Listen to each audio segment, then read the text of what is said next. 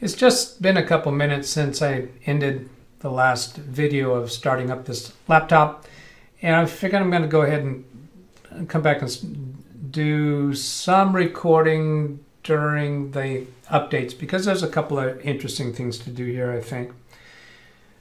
It got to the Windows desktop uh, pretty quickly after I ended that video. However, there were a couple other screens that it came through. It wanted it prompted again to register with HP, and I click on a skip link.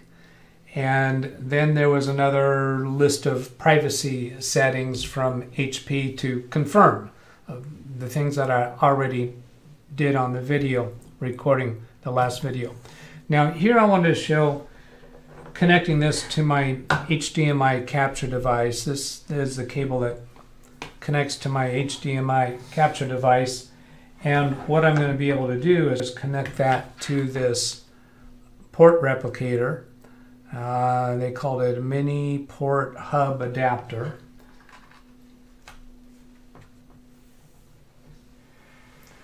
And then in order to connect that to the computer, I have to connect that to the only USB-C port it has, which means I have to disconnect the power connector. The screen went dim because it's now on battery power. And then connect the power adapter to that USB-C port on the hub. And then the screen went brighter and it shows that it's connected to power. Now I'm going to connect to the uh, internet, my wireless internet here, but let me pause for a moment, see if I can get it on screen through the HDMI capture device. That worked really well. Here's the Spectre laptop through my capture device that I can make it visible now through the recording so with connecting those wires here, I was able to reconfigure the settings on my recording computer. And I did not have to press any buttons to get the display signal to go out through there. It just automatically uh, sensed what was happening and brought up the image on my XSplit recording software. Now I'll join to the Wi-Fi. It's this one called BETTS. And I'll leave that check mark for connect automatically.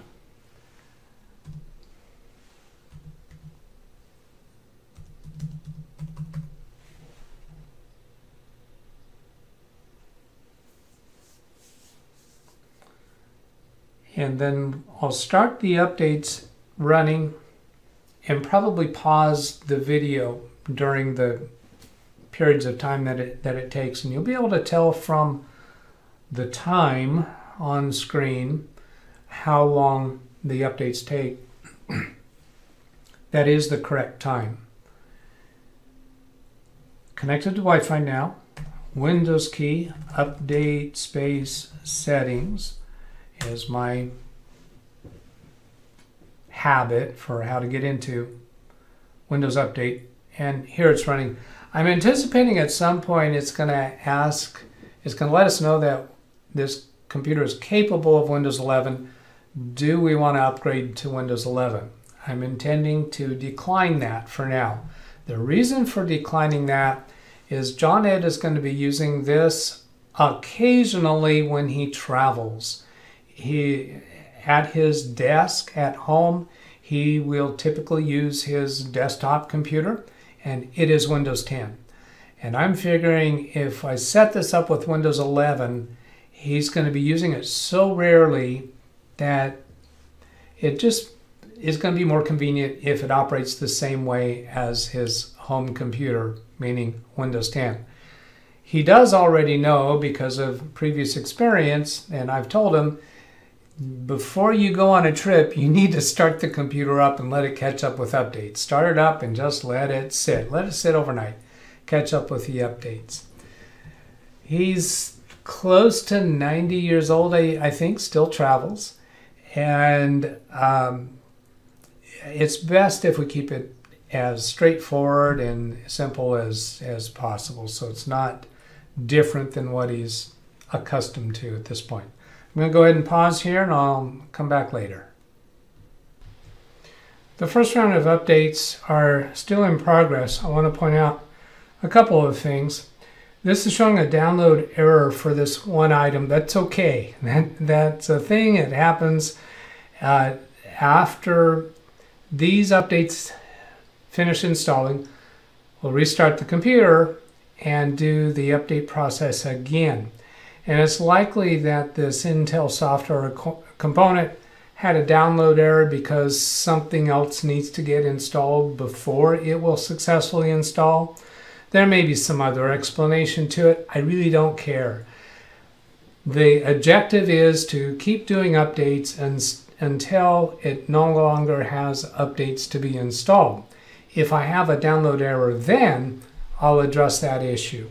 But at this point, it's likely going to take care of itself. The other thing I want to point out is that I was out of the room, I came back and found the screen completely dark. And I thought, I assumed that it was in the midst of a restart. It was not. It went into power saving mode. So the screen went blank. That's very inconvenient when doing the initial setup of a computer. So I'm going to come over here onto the desktop area, click the right mouse button, choose personalize, on the left hand side here I'll click on lock screen I want to change the screensaver settings so that it doesn't time out. Here's screen timeout settings. When it's plugged in I don't want it to ever turn off. That's the way I like my computers all the time anyway. That way I know they are still on. If I want to shut them down I'll go shut them down.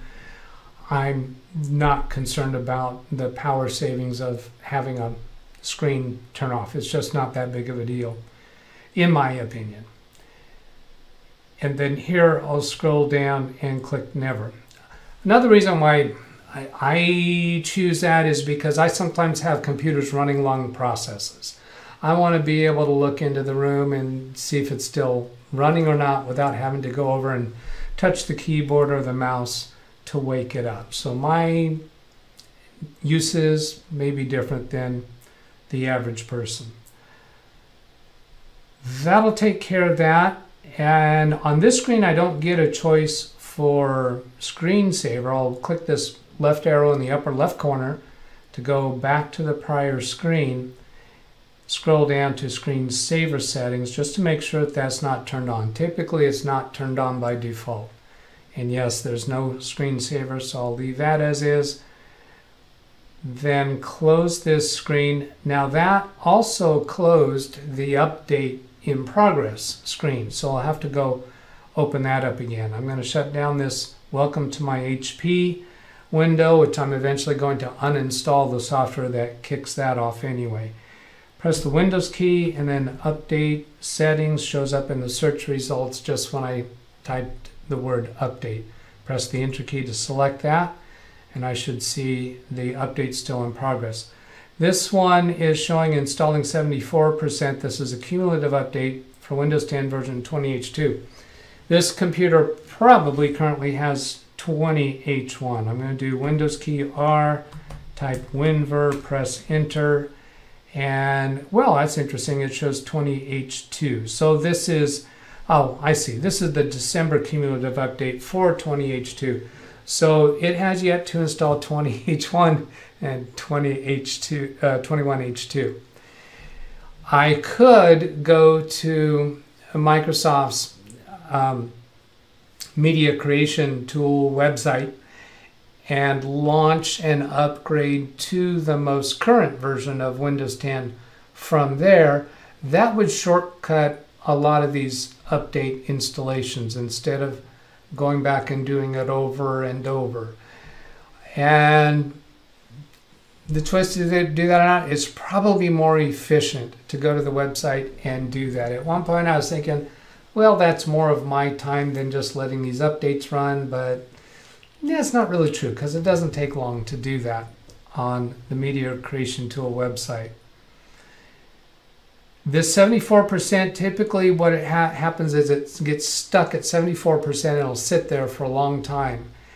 And then the rest of it going up to 100% is, is very quick. And I think even many times you don't even see that increment from 74 up to 100%.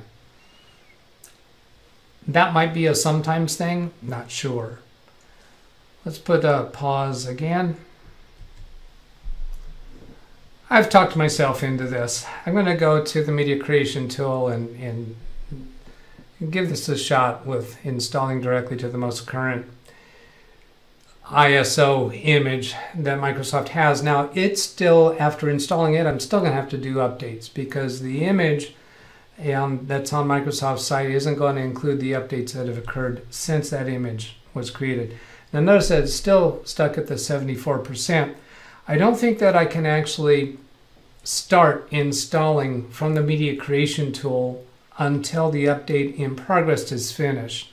I am curious if I go ahead and click restart now before this one's actually installed, if I can get back to a point where I could start the install with the media creation tool.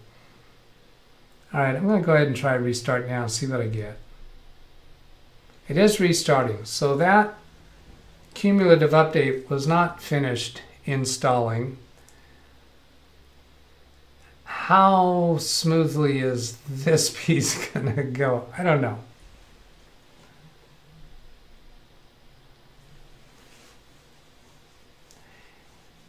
It could complete that installation during this reboot.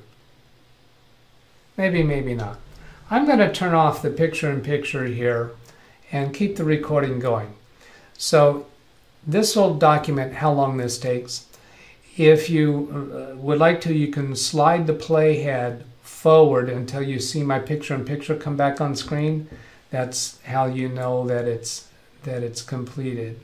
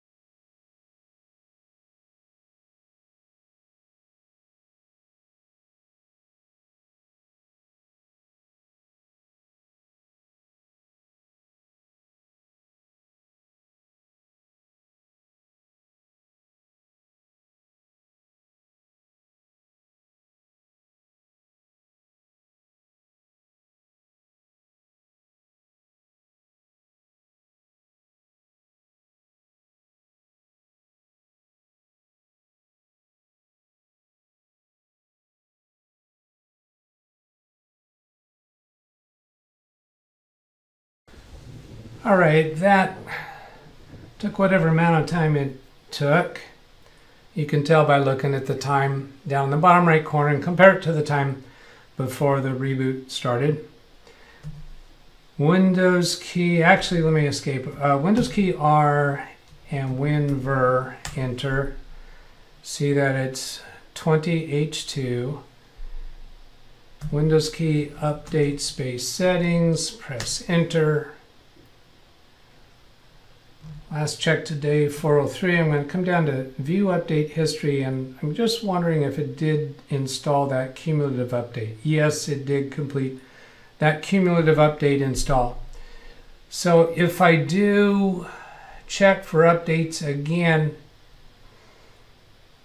if it want, if it goes offers straight to 21H2, then maybe I'll let it go through again. But if I do this 21H1 and then whatever amount of time that takes and then I have to do another round to get 21H2, it just potentially could be a long time. And I've been down that road before. So I want to go ahead and try this method of doing from the media creation tool. Now I launched Microsoft Edge and it's giving me an initialization process for Microsoft Edge. It's trying to sign in to Microsoft Edge even though I haven't given it a Microsoft account yet. There's a Get Started button. I don't see an X in the upper right corner. I'm going to try Escape. Nope, can't escape out of that. Get Started. I'll choose Focused. Focused gives a very sparse screen. Whereas you can see in the background here, it's loading all this extra clutter. Personally, I don't like the extra clutter. So I used focused, and we can see in the background that it's already lost the clutter. And then click confirm. I'll continue without signing in. There we've got the browser. Now this is this one here is also a first launch experience. To demonstrate that, I'm going to close Edge and reopen it, and it should go straight to the focused new tab page. Yes, it did. Then I'll, let's see, search the web for media creation tool. There's a few different ways that you can search for this same page, but that's just the habit that I've grown into we want to use Microsoft.com, software download Windows 10, media creation tool. So that sounds like the right location. This one, the URL actually has the word create in it. I'm guessing either one of those will probably go to the same site download the tool now for Windows 10. So I'll click on that and that'll get us to the page that I want. So this is what we want. Download Windows 10, update now. Windows 10 November 2021 update. That would be the 21H2.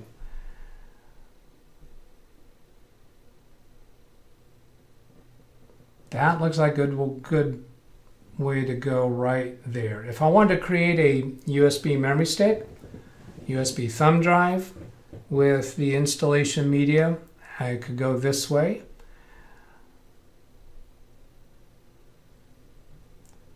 I clicked on update now and down here it did a download showing up in the bottom left corner for open file.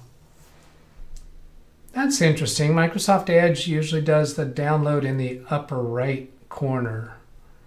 I'm not sure why that's coming in the bottom left corner, but I, I think I have noticed that happens sometimes and just haven't cared to figure out why sometimes it's in bottom left, sometimes it's upper right. If you know that, put it in the comments under this video because I'm not going to bother go researching it. One of the best features of Windows 10 keeps getting newer. The PC is currently not running the latest. This PC is running 20H2. The latest is 21H2. So that's going to get me straight there. And I'm pretty sure that this is going to get me there faster than if I went through the normal update sequence. Down here in the bottom left, it's doing a countdown. And now that is starting. So this is looks like it's going to be very similar to the update, uh, the Windows update experience, but this should be taking me straight to the most recent version. I could have gone here when I first connected to my Wi-Fi. That probably would have been a better way to go. I'm going to turn off the picture-in-picture. I'll leave the recording going and you can scrub forward till my picture-in-picture comes back in. That way you'll be able to judge by the time on the bottom right corner how long this procedure took.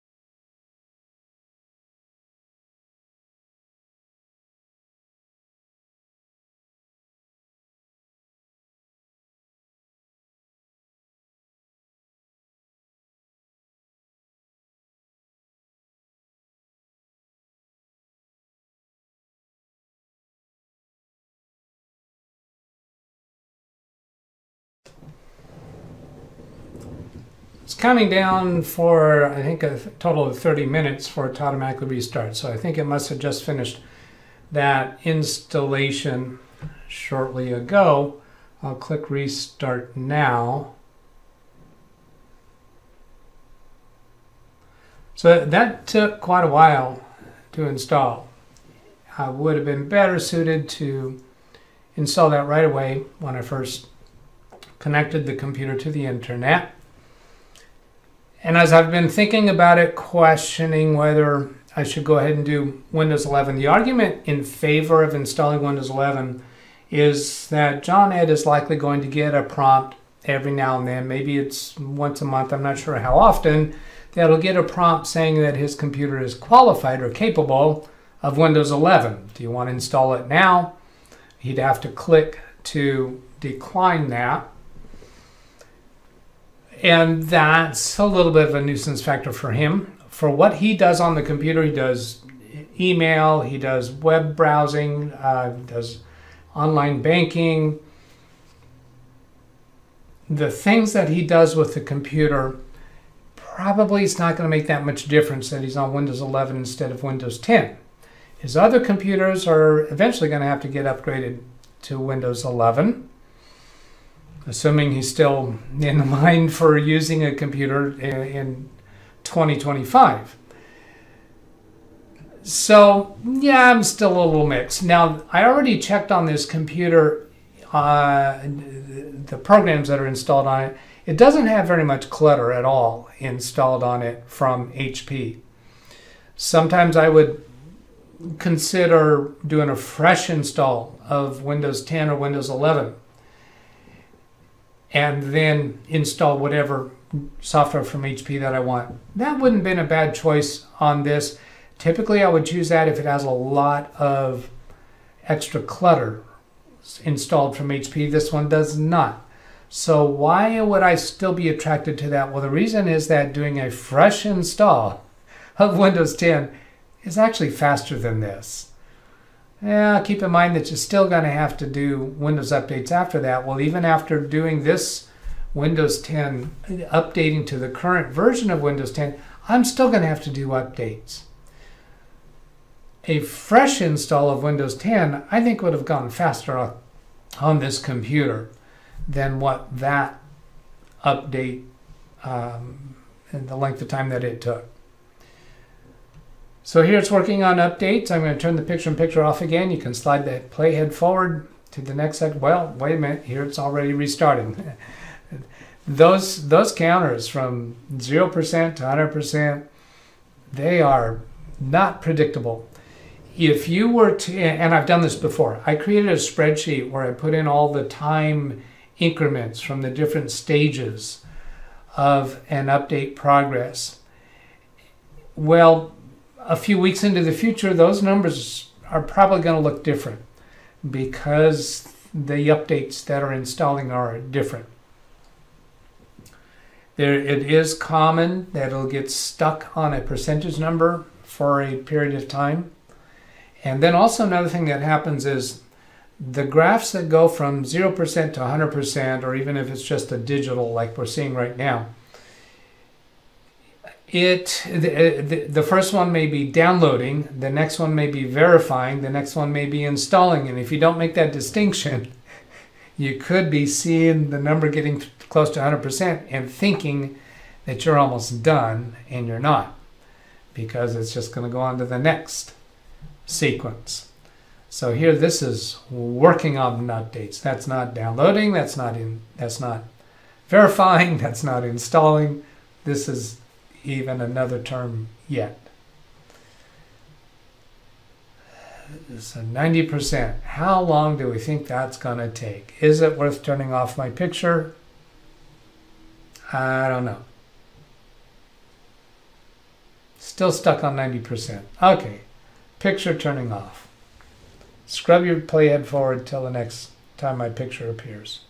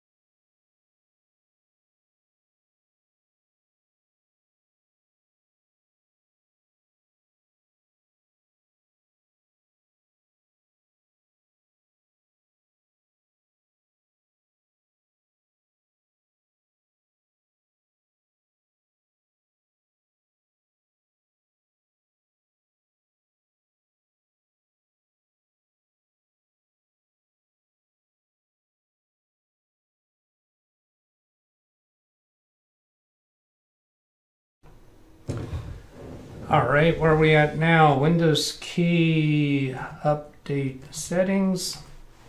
Enter. Getting ready for Windows 11. Check hardware requirements. I want to tell to not not do Windows 11. We are working on it. We're doing some extra testing, making sure it's ready for yours. Oh, okay. I figured it would automatically be ready for this computer or, or be a slam dunk, but I guess not. So here's some more updates. This should probably quick.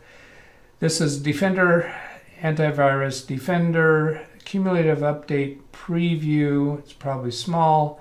Update for 21H2. That could take a while.